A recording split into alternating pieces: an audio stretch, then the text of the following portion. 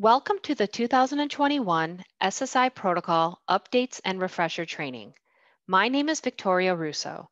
I am the primary subject matter expert for SSI on the Protocol and Validation team at NHSN.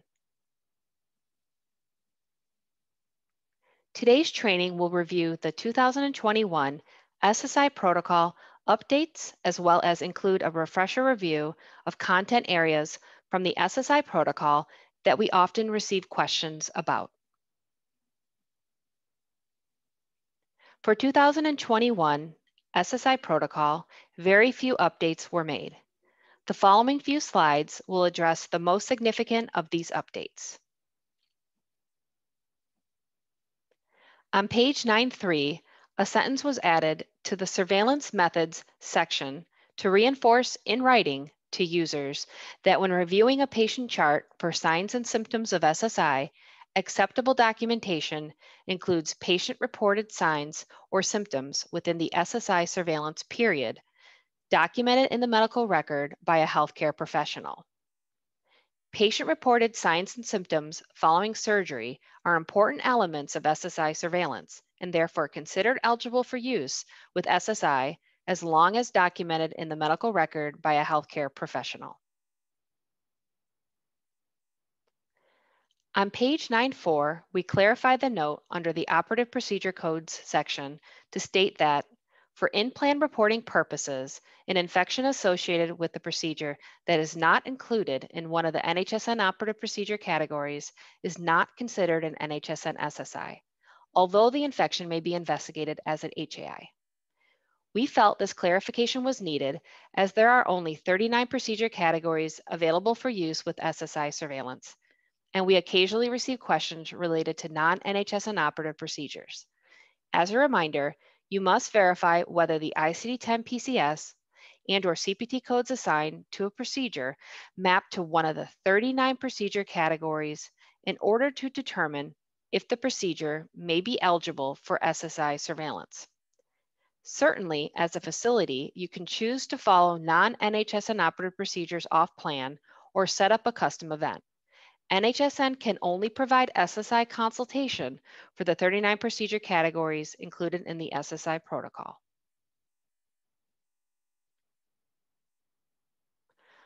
On page 925, denominator reporting instruction number nine, title and instruction were updated to capture when a patient has more than one operative procedure within 24 hours via the same incision or into the same surgical space.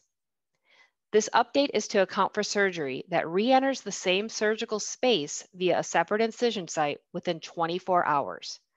As a reminder, when a patient has more than one operative procedure via the same incision or into the same surgical space, and the second procedure start time is within 24 hours of the first procedure finish time, report only one denominator for procedure form for the original procedure, combining procedure details according to denominator instruction number nine.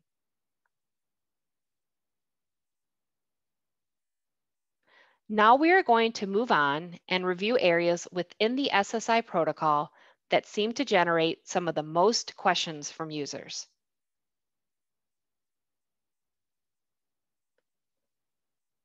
As a reminder, the NHSN definitions for IWP, POA, HAI, and RIT that are used in other protocols do not apply to the SSI protocol. Also keep in mind that there is no such thing as ongoing or chronic infection in SSI surveillance. In SSI surveillance, a visit to the OR for an NHSN operative procedure begins a 30-day or 90-day SSI surveillance period.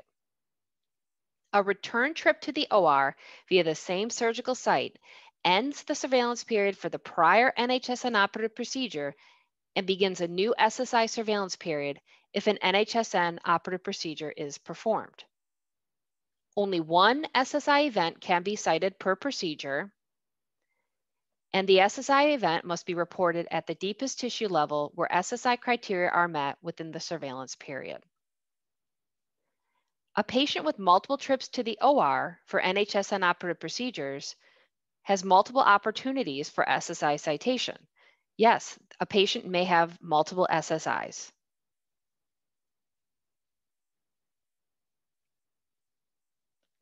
We receive several questions about PATOS weekly. As a reminder, PATOS is a required field found on the SSI event form. You only review to determine PATOS if an SSI is identified within the surveillance period following an NHSN operative procedure. PATOS determinations come directly from the narrative portion of the intraoperative report. The narrative of the intraoperative report should be the pieces of information dictated by the surgeon which reflect what is seen and what is done during the procedure. A diagnosis, an indication for surgery, and or other headings that are routinely included in the operative report, these are not allowed for use with PATOS.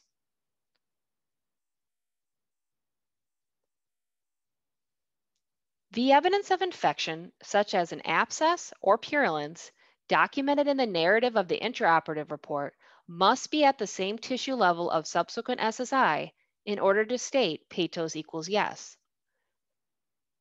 Since PATOS determinations are limited to the narrative of the intraoperative report, imaging findings, laboratory findings such as wound cultures, wound class, and other information outside of the narrative are not eligible for PATOS. Please note that PATOS events are still SSI events and must be reported to NHSN. For more information related to PATOS, please review SSI event reporting instruction number three, and also the PATOS Quick Learn that can be found under the training portion of the SSI landing page.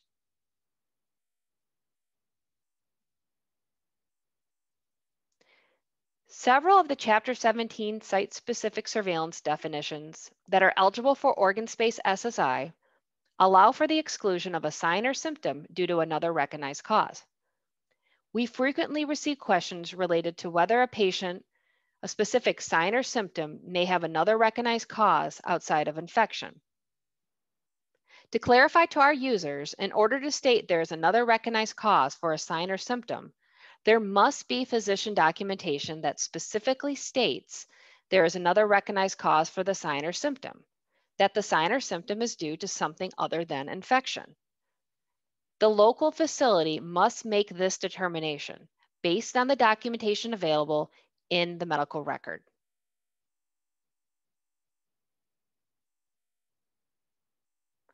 Now, what is meant by gross anatomical exam that is used in many of the NHSN definitions, including definitions used for SSI.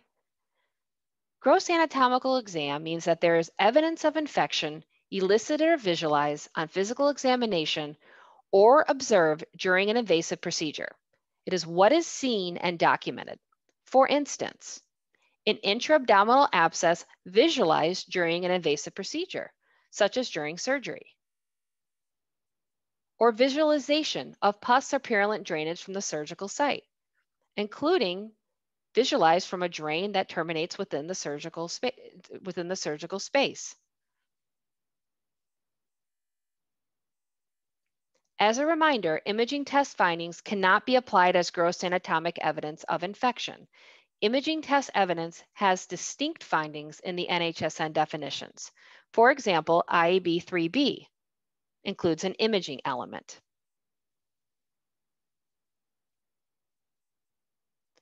We receive a lot of questions related to gross anatomic evidence of infection post CSEC and hysterectomy procedures. To be very clear, only post CSEC or hysterectomy procedures can abdominal pain or tenderness be used as gross anatomical evidence of infection to meet general organ space SSI criterion C when OREP or EMET is also met. We allow abdominal pain or tenderness in post-CSEC or post-hysterectomy patients to meet general organ space C because these patients may not return to the OR for visualization of infection, and there may not be another way to satisfy general organ space SSI criteria in a patient that also meets OREP 3B or EMET 2. So allowing the documentation of abdominal pain or tenderness as gross anatomic evidence of infection to meet general organ space SSI criterion C enables the user to report an SSI OREP or SSI EMET.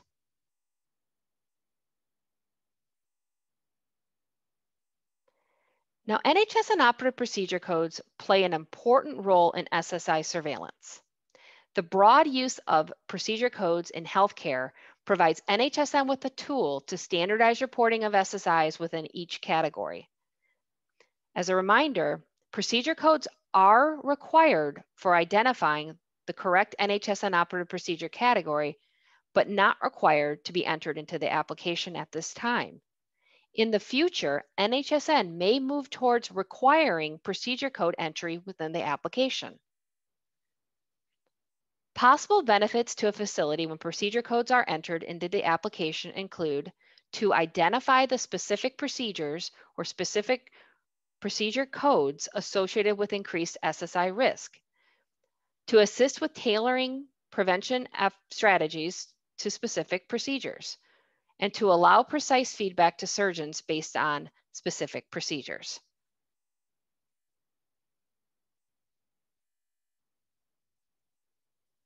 For this next slide, I want to take the opportunity to remind NHSN users that maintaining the accuracy of the data that is reported to NHSN is imperative. Many of the data elements collected on the forms you submit to NHSN are used in the risk adjustment of the SIR denominator and impacts your SIR. NHSN conducts regular assessments of the completeness, accuracy, and timely submission of the data received in NHSN. NHSN conducts data quality outreach to facilities based on results from regular data quality assessments. Facilities are encouraged to correct their data per the details provided in the data quality outreach email.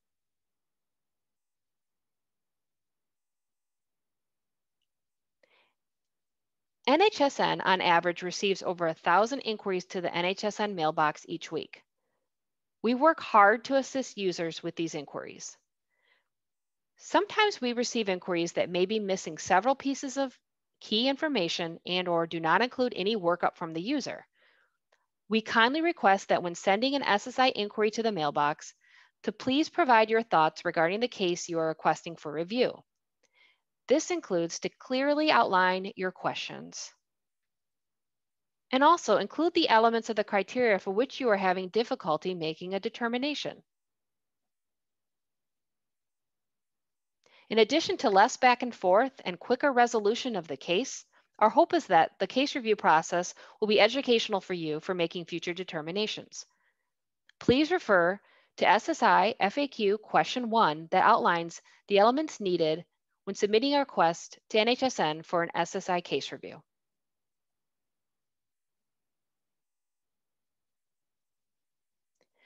Don't forget there are plenty of educational resources available to assist NHSN users in SSI surveillance.